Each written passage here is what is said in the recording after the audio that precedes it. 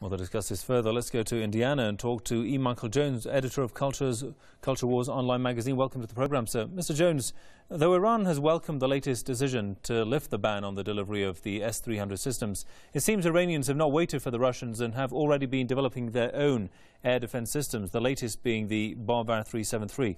Now, just how reliable is Moscow, given its past record in making good on its promises of delivering such defensive weapons?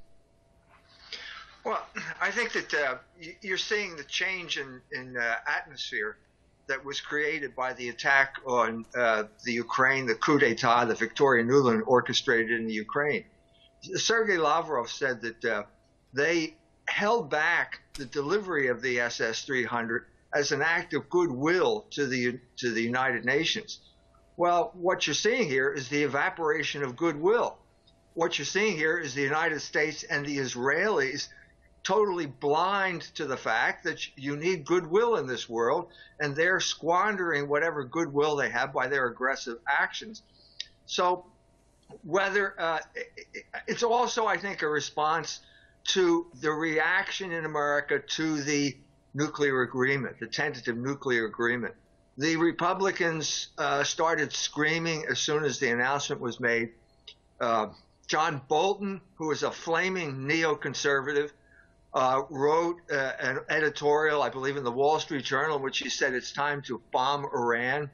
Well, this is going to have a natural reaction. Now that you've lost the sense, now that Russia no longer considers itself part of the West, now what you've, what you've created is a union among the Asian powers, and that's what led to this to this decision. I think. I think that they're they're just wasting all of this goodwill that they had for uh, over a long period of time, and now they're seeing the the outcome that's uh, a result of it.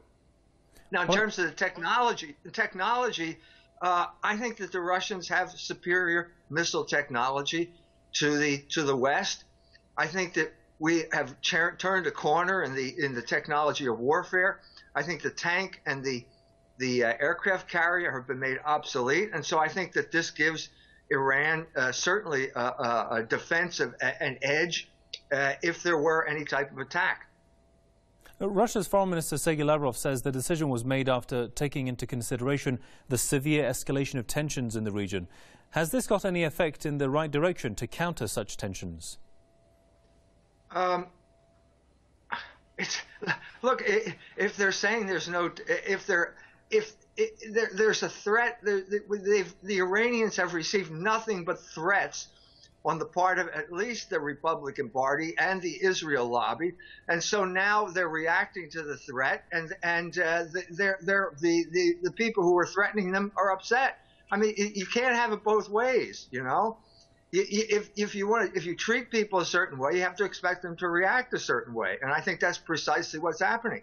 They're the, the, the goodwill that uh, uh, the Obama administration is is trying to uh, spread here, uh, however successful they are, was completely undermined by this totally bellicose reaction on the part of the Republicans and the Israel lobby. And I think this is a natural result of that type of thing. Russia's not going to go along. Uh, they they're saying it's defensive. So what what are, what are they going to say? I mean, and, and they're the ones who created this mess. And it's interesting that uh, Israeli Minister Yuval Steinitz says Russians had updated Tel Aviv before announcing the decision to lift the ban. I mean, why should Moscow do do this? Uh, just as a diplomatic courtesy, I suppose. Uh, there are a lot of Russians who live in Israel. Uh, I'm not. I'm not exactly sure why they would do that, but I think that it's it's pretty clear that uh, they're not going to go along anymore. They're not. They're not part of. The, let, us put it this way: that Russia is not part of the West anymore. It's over.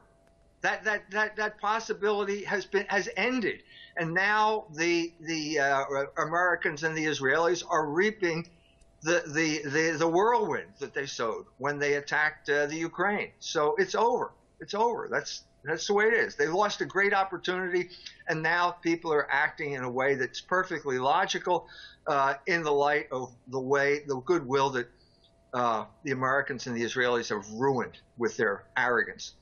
All right, we'll leave it there for the time being. Many thanks to E. Michael Jones, editor of Culture Wars online magazine from Indiana. As always, thanks for your time there, sir.